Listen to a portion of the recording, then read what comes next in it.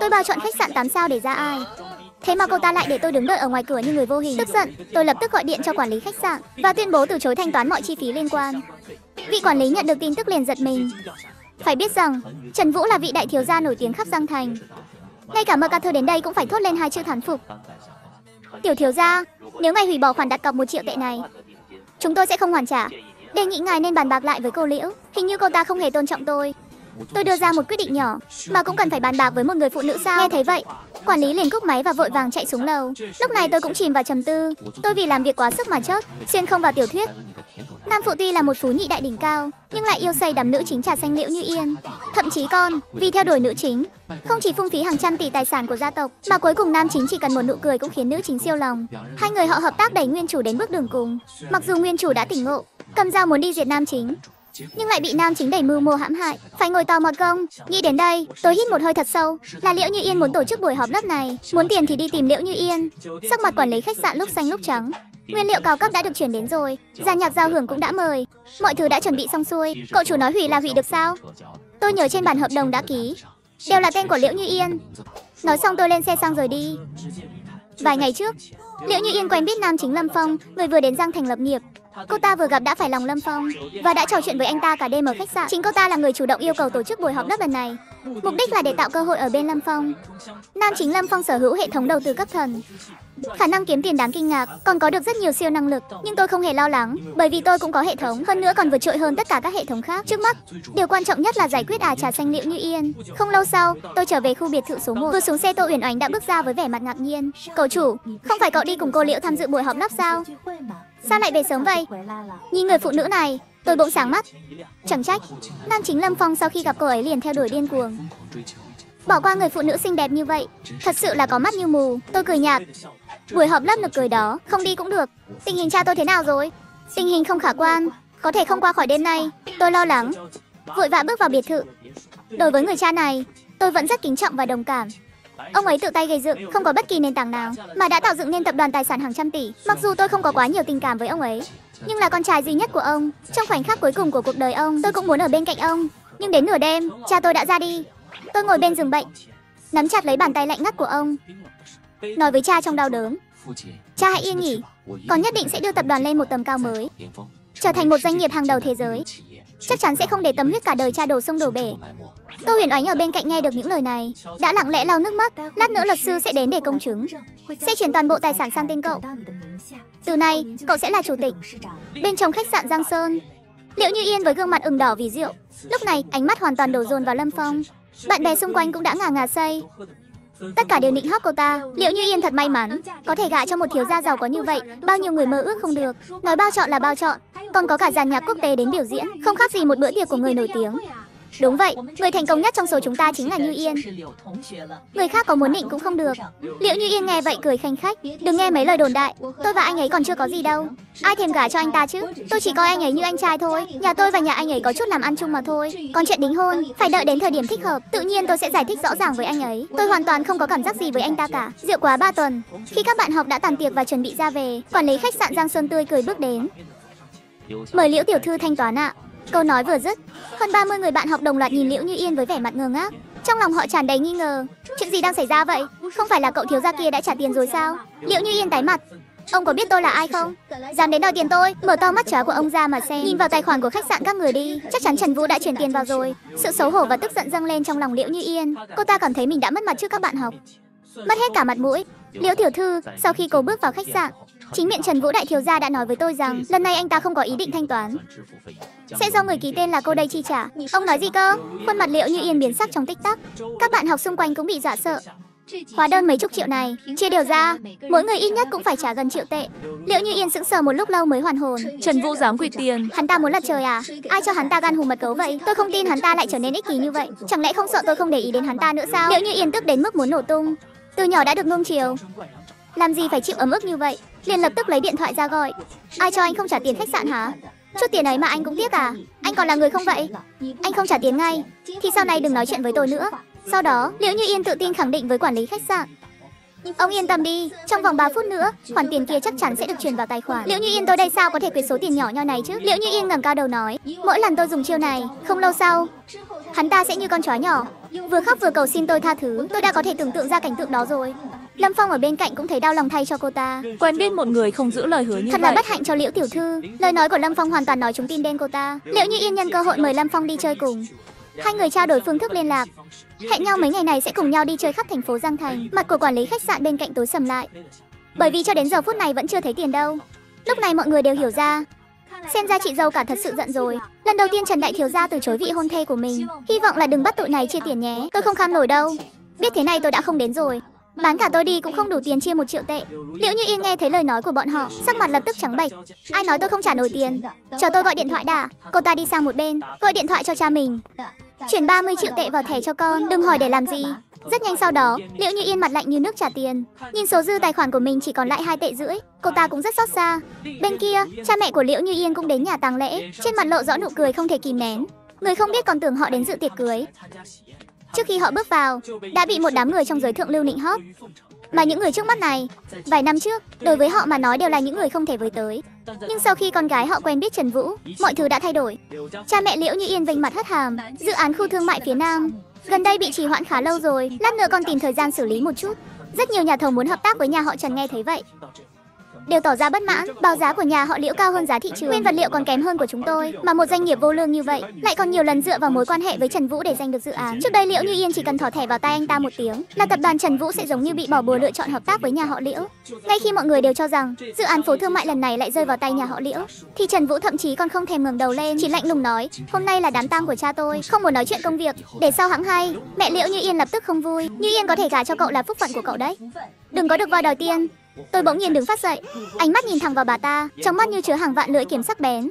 Bà muốn tôi xử lý ngay hôm nay đúng không? Vậy tôi sẽ chiều lòng bà. Văn Ninh, hội quản lý dự án của tập đoàn Trần Vũ đến đây. Chẳng mấy chốc một người đàn ông trung niên mặc VC, mặt mũi ngơ ngác đứng dậy. Chủ tịch, tôi có mặt. Thông báo ngay lập tức cho toàn tập đoàn. Dự án khu thương mại, cấm tất mọi công ty có liên quan đến nhà họ Liễu tham gia và tất cả các dự án hợp tác với công ty nhà họ Liễu đều dừng lại hết. Tìm đối tác khác. Đầu óc người quản lý như muốn nổ tung, miệng há hốc. Tôi thản nhiên nhìn anh ta. Có vấn đề gì sao? Người quản lý kích động nói lớn. Không vấn đề gì, đảm bảo hoàn thành nhiệm vụ chủ tịch giao phó. Người quản lý kích động suýt chút nữa thì khóc. Bao năm nay, trơ mắt nhìn nhà họ liệu bám vào tập đoàn hút máu, mà bất lực không làm gì được. Hôm nay cuối cùng cũng được trả thù. Toàn bộ hội tang cũng vì lời từ chối đột ngột của tôi. Mà rơi vào im lặng đến nghẹt thở. Cha mẹ Liễu như yên càng như bị sét đánh ngang tai. Môi run run, bà ta giơ ngón tay. Run rẩy chỉ về tôi, cậu đang nói bậy bạ gì vậy? Hậu quả của việc làm này cậu suy nghĩ cho kỹ rồi hãy nói. Trần Vũ, có nhiều người đang nhìn cậu đấy, đừng có ở đây làm loạn nữa. Tôi nhìn thẳng vào hai người bọn họ, đáy mắt tràn đầy lạnh lẽo. Ai đang làm loạn? Dám đứng trước mặt cha tôi mà uy hiếp tôi, các người cũng xứng sao? Tính nhẫn nại của tôi có hạn, ở đây không chào đón các người. Biết điều thì cút khỏi linh đường cho tôi. Nếu không đừng trách tôi cho người lôi các người ra. Cả hội tang như thể bị một cú sốc lớn. Hàng trăm người trong nhà tang lễ xôn xao bàn tán. Đây có phải là cậu ấm Trần Vũ nổi tiếng ăn chơi ở Giang Thành không vậy? Tôi không nhận nhầm người đâu nhỉ? Tôi nghi ngờ tay mình có vấn đề rồi. Tôi đã từng gặp anh ta rồi, luôn khủng núm trước mặt Liễu Như Yên. So với bây giờ khác một trời một vực. Nói hay lắm, một công ty nhỏ dựa hơi tập đoàn Trần Vũ mới có tiền, mà cũng dám lớn giọng ra lệnh cho chủ. Đúng là nên cho bọn họ một bài học. Những người xung quanh đến xem náo nhiệt, đều hướng ánh mắt về phía cha mẹ Liễu Như Yên. Ánh mắt đầy vẻ thích thú và chế giễu, như đang xem trò hề vậy. Cha Liễu Như Yên tức giận đến mức hai mắt trợn trừng. Mày dám nói chuyện với bậc trưởng bối như thế sao? Thật là không biết phép tắc. Vô lễ, thật không hiểu Như Yên sao lại thích loại người như mày. Con gái tôi vẫn luôn bất mãn về cậu. Nếu không phải tôi ra sức nói tốt cho cậu, thì nó có thèm đính hôn với cậu sao?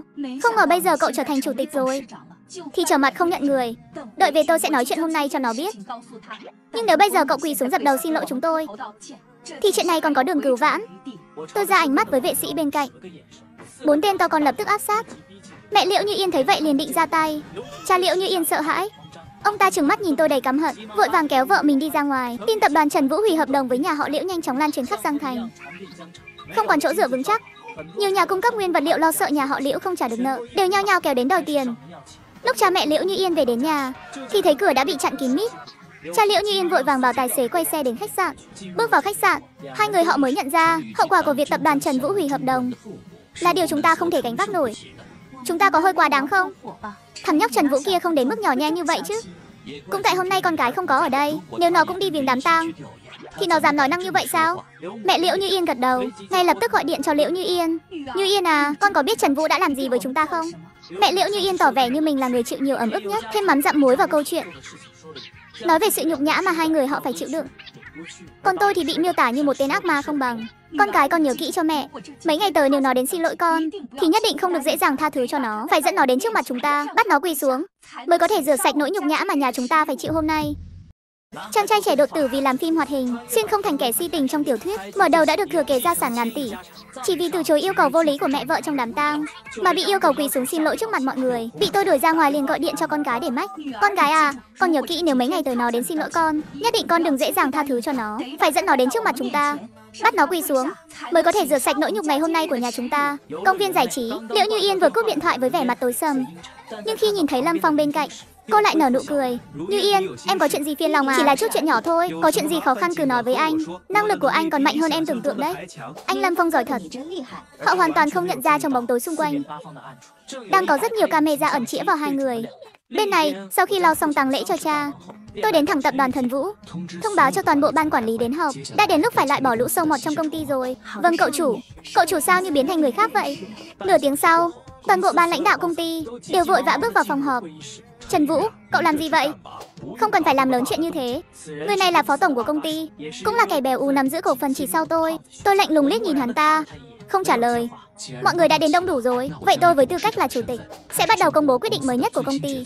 Quyết định đầu tiên, cựu tổng giám đốc Tô Đạt Khang, vì trong thời gian tại vị đã lạm dụng chức quyền, trục lợi cá nhân, công ty quyết định buộc thôi việc ông ta và truy cứu trách nhiệm pháp lý. Cựu giám đốc dự án Trần Dũng cùng tổng giám đốc cấu kết ăn cắp tài liệu công ty, trục lợi cá nhân, buộc thôi việc và truy cứu trách nhiệm pháp lý. Tiếp theo là một loạt hơn 200 người giữ chức vụ quan trọng bị nêu tên. Tất cả đều có quan hệ với nhà họ Liễu. Dựa vào tôi trước đây, vào tập đoàn Thần Vũ An không ngồi rồi, đồng thời giúp nhà họ Liễu trục lợi. Tôi Đạt Khang anh họ của Liễu Như Yên tức giận nói: "Chủ tịch, tôi không phục, vu khống tôi tham ông, chỉ bằng lời nói của cậu sao? Rút lại những lời đó, nếu không tôi sẽ hủy diệt Thần Vũ. Mọi người yên tâm, bằng chứng các người muốn sẽ sớm được đưa đến." Đừng vội, cứ tận hưởng khoảng thời gian còn có thể đứng đó nói chuyện với tôi đi. Rất nhanh sau đó Tô Uyển Ninh bước vào cùng vài trợ lý, tay cầm một chồng lớn tập tài liệu.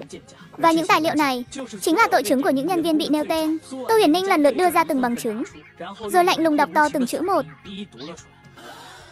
Dừng lại, đừng đọc nữa. Tôi đi, tôi đi là được chứ gì. Xin chủ tịch nể tình xưa. Tha cho tôi lần này. Đến cả những thứ này mà cậu cũng tìm ra được. Tôi phục rồi, chúng tôi và vị hôn thê của cậu là họ hàng. Xin cậu nương tay. Tôi nguyện sửa sai. Xin cậu cho tôi một cơ hội. Chỉ cần chủ tịch kiện, ít nhất cũng đủ để những kẻ đứng đây phải ngồi tù 10 năm. Chiều nay tôi sẽ giao toàn bộ tài liệu cho sở cảnh sát. Tự lo liệu lấy đi. Nhà họ Liễu bị thanh trừng trong chớp nhoáng, không ai dám nán lại thêm giây phút nào. Tất cả đều xấu hổ rời khỏi phòng họp đi tìm Liễu Như Yên. Từ nay về sau, cô Tô Huyền Ninh chính thức trở thành thư ký chủ tịch. Cậu chủ, cậu thật sự khiến tôi phải nhìn bằng con mắt khác xưa. Chuyện khác cậu chủ giao phó tôi cũng đã làm xong. Liệu như Yên và Lâm Phong kia, quả thực mấy hôm nay đều ở bên nhau.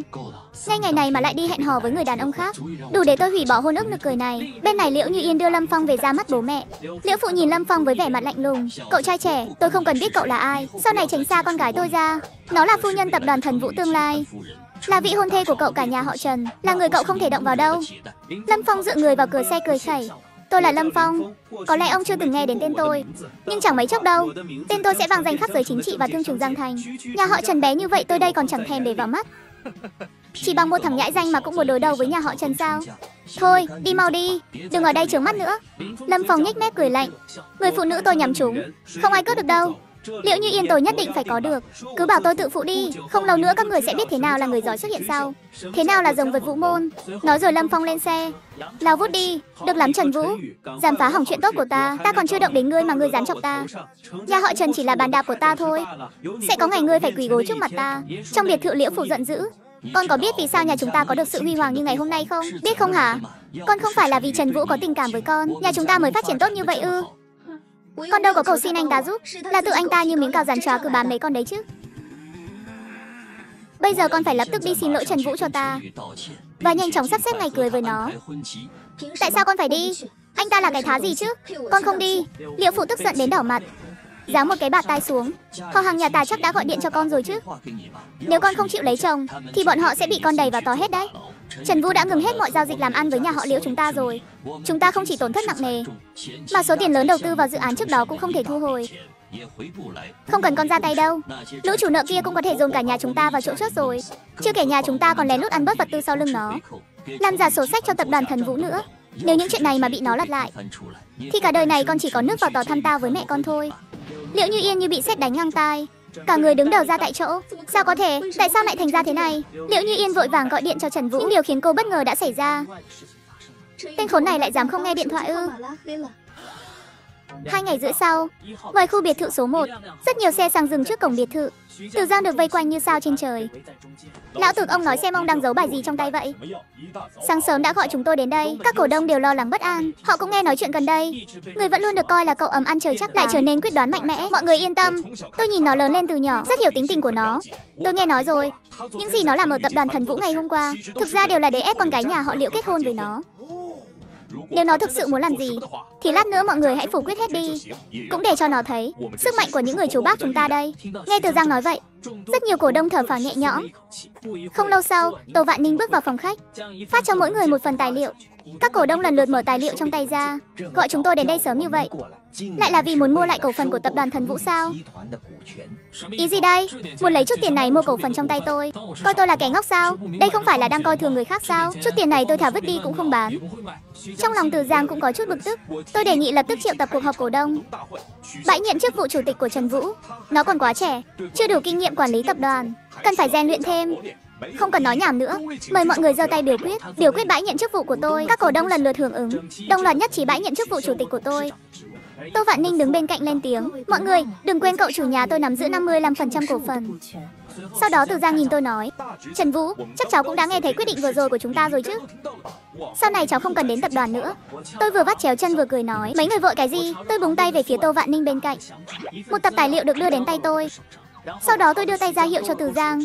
Ra hiệu ông ta ghé tai lại gần hơn. Dưới gầm cầu cao tốc cạnh làng thanh khê cũ Cầu mọc cao hơn 3 mét.